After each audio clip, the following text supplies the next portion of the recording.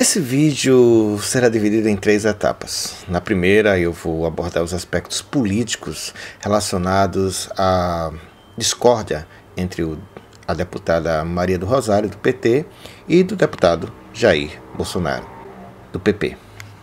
Na segunda etapa, vou falar sobre o decoro parlamentar. Na terceira etapa, vou falar sobre alguns aspectos técnicos a respeito do crime de estupro. Vamos começar?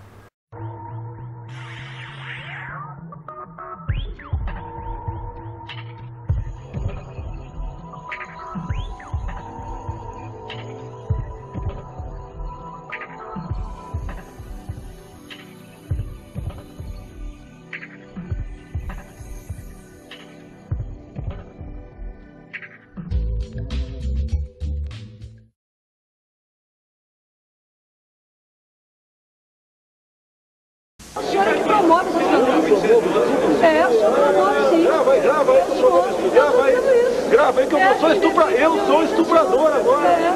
Olha, jamais ia estuprar você que você não merece. Olha, eu é espero que não. é esse o papo, dá, eu te dou outra. Dá que eu te dou outra. Dá que eu te dou outra. Dá que eu te dou outra. Dá que eu te dou outra. Que Tá? Dá que eu te o dou que é outra. isso? Quem? Mas o que é isso? Você me chamou de estuprador? Você me chamou de estuprador? Você é imoral. Tá, vagabunda? Mas o que é isso? O que é isso aqui? O que é isso aqui? O que é isso aqui? Desequilibrado. Ah, O que é isso? Desequilibrado. você é uma coitada agora. Mas o que é isso? família que é. Mas o que é isso? é Mas o que é isso? Mas o que é isso? Não, não. Mas o que é isso? Ainda bem que ela gravou tudo ali. Mas que Ainda bem que ela isso? gravou tudo ali. Mas o que é isso? Ainda bem que ela gravou tudo ali. Chora agora, chora agora. Chora.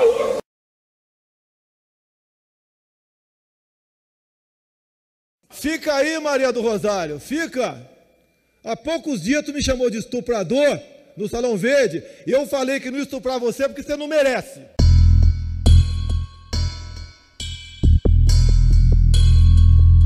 Toda história precisa de contexto. E o começo dessa história nos leva ao ano de 2003. Gravem bem, 2003. Os deputados Jair Bolsonaro e Maria do Rosário foram convidados a dar entrevistas à Rede TV.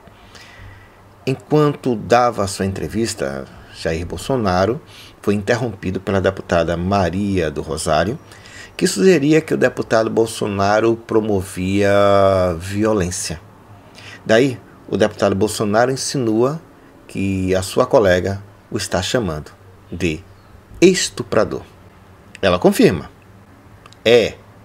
É. Como pode ser visto, os ânimos se exaltam e o deputado Bolsonaro reage e diz: Olha, jamais vou estuprar você, porque você não merece. A deputada responde: Olha, eu entendo que não, porque senão eu lhe dou uma bofetada. O deputado reage novamente. E eu te dou outra, tá? Eu te dou outra, eu te dou outra. Bolsonaro empurra levemente a deputada, que protesta, grita, chama a segurança e sai chorando. Repetindo, isso foi em 2003. Daqui precisamos de aprender duas situações. Uma acusação patrocinada pela deputada, que não negou que estava acusando Bolsonaro de ser estuprador, apesar de não ser visto ela dizendo isso no vídeo. Porém, ela confirmou a fala dele. Isso seria calúnia, ou seja, acusar alguém de cometer ato que é previsto em lei também como um crime. É o que diz o artigo 138 do Código Penal. O deputado Bolsonaro, por sua vez, agiu de uma forma completamente deselegante. Aliás, foi agressivo, gritou com a deputada e, após os fatos narrados, ainda a chamou de vagabunda. Palavra que remete ao artigo 140 do Código Penal, ou seja, crime de injúria pela ofensa gratuita. Naquela oportunidade, em 2003, penso eu, ambos foram indecorosos. Ambos ofenderam um ao outro nos termos do Código de Ética do Parlamento. Aparentemente, repito, aparentemente, até mesmo porque eu não vi o diálogo travado por eles antes daquela gravação, a reação do Bolsonaro foi até desproporcional, muito agressiva. Mas convenhamos, se alguém me acusasse de patrocinar violência e confirmasse em rede nacional que eu era um estuprador, tal situação me tiraria do sério. É quase certo que eu não reagiria como Bolsonaro, até mesmo porque Bolsonaro aparenta ser um homem fisicamente forte, ou seja, ele não sofria qualquer risco de ameaça frente à deputada Maria do Rosário. Além de que, o deputado é conhecido pelas suas frases, no mínimo polêmicas. Falando nisso, façamos uma visita a algumas falas do deputado. Para concluir, senhor presidente, enquanto estivermos no Brasil comportamento de viado, continuaremos sendo abatidos e chorando de inocentes mortos. Muito obrigado, senhor presidente. Eu falei, olha, se ele fosse homossexual, ladrão, maconheiro, mensaleiro, não tinha problema nenhum.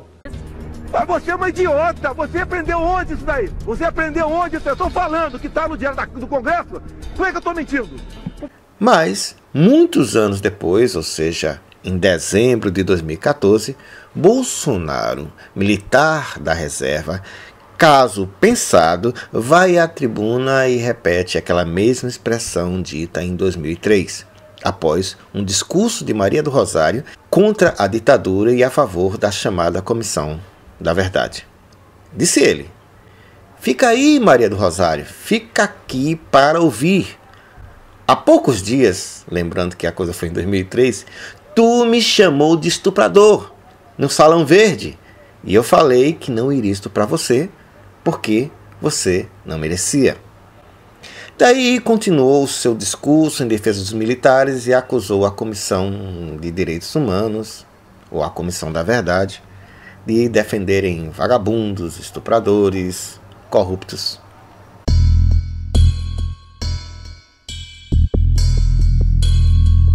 O Código de Ética, em seu artigo 3, inciso 7, dispõe que se deve tratar com respeito e independência os colegas, as autoridades, os servidores da casa e os cidadãos com os quais mantenha contato no exercício da atividade parlamentar, não prescindindo de igual tratamento.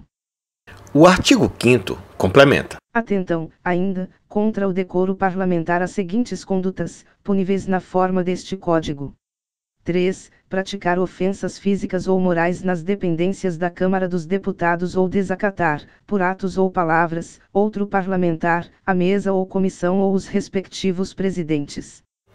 O artigo 10 conclui. São as seguintes as penalidades aplicáveis por conduta atentatória ou incompatível com o decoro parlamentar: 1. Censura, verbal ou escrita. 2. Suspensão de prerrogativas regimentais por até seis meses. 3. Suspensão do exercício do mandato por até seis meses. 4. Perda de mandato. Segundo o mesmo Código de Ética e Decoro Parlamentar, é deixado uma margem à interpretação qual seja a natureza e a gravidade da situação. Dessa forma, instrumentos para punir deputados e senadores existem, porém, é sabido que inações também existem e tal regulamento nos parece ser descumprido inúmeras vezes. Em minha opinião, devido ao subjetivismo do próprio Código de Ética, não sei se a situação cabe uma perda de mandato. Mas aqui ou emitir um juízo de valor. Para mim, o Bolsonaro pisou na bola. Falar no microfone da tribuna, debochando de uma situação tão extrema como a do estupro, foi demais, até para mim, que defendo o amplo direito à liberdade de expressão. Acho que até um bom puxão de orelha para acalmar os deputados e fortalecer a jurisprudência cairia bem. Tipo, uma boa suspensão do exercício do mandato seria um exemplo satisfatório para mim. Mas esta é apenas a minha opinião.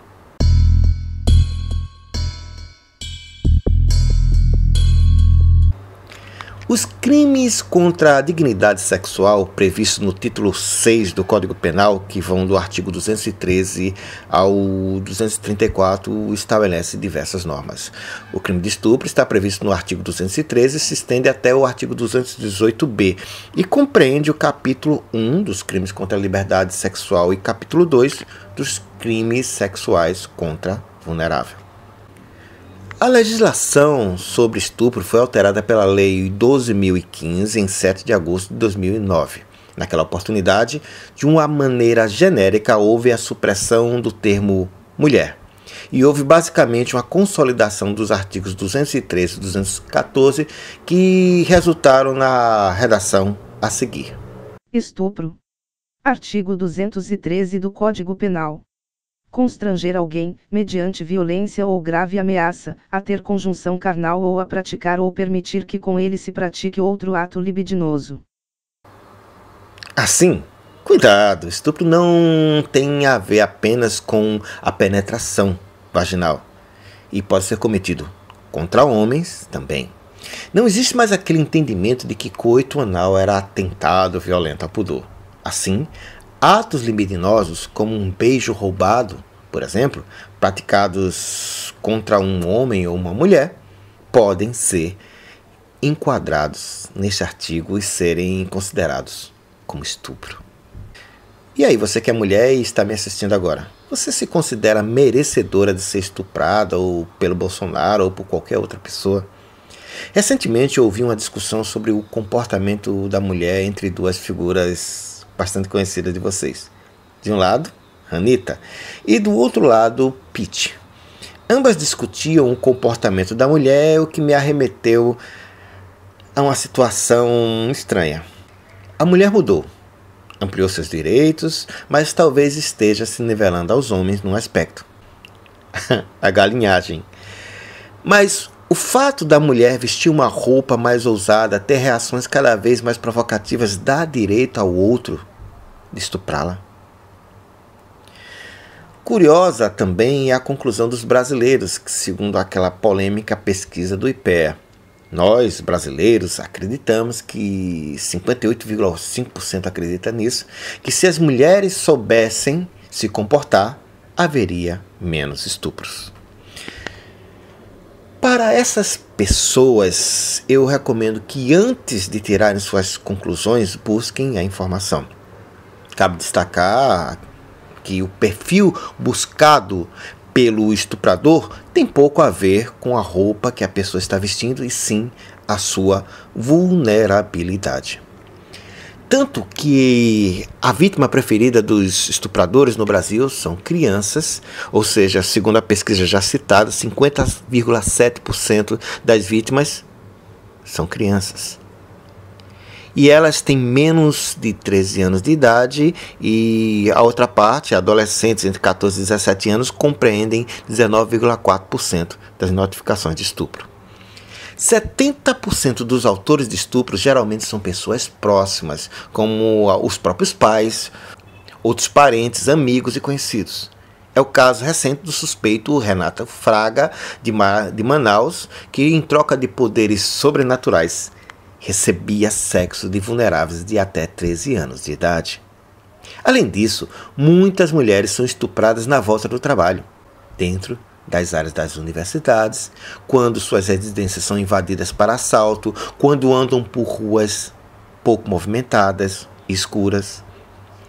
O que caracteriza que esse excesso é apenas uma busca da satisfação das necessidades.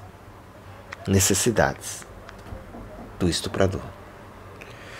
O estupro, em alguns locais e épocas, é até algo cultural.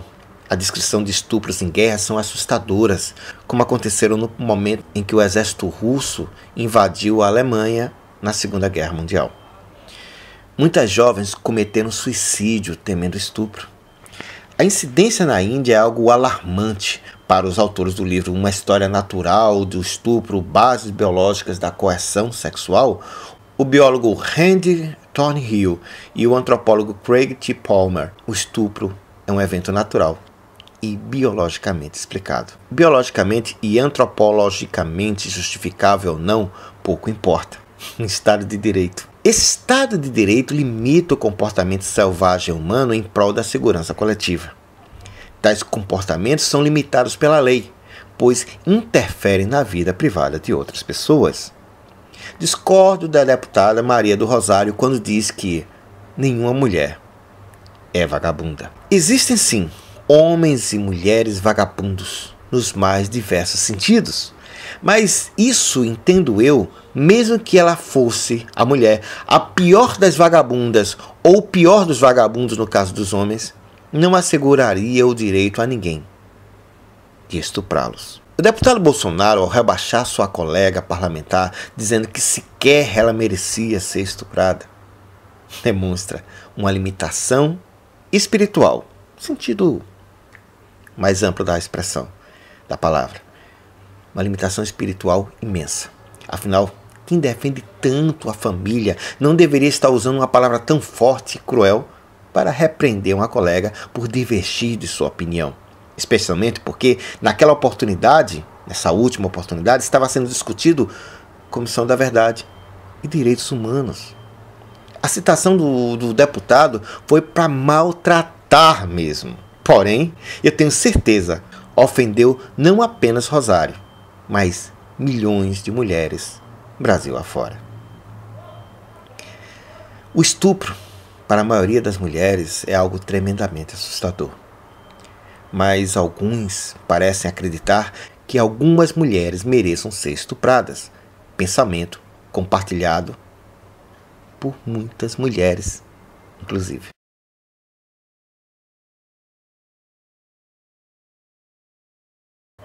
No mais, valeu!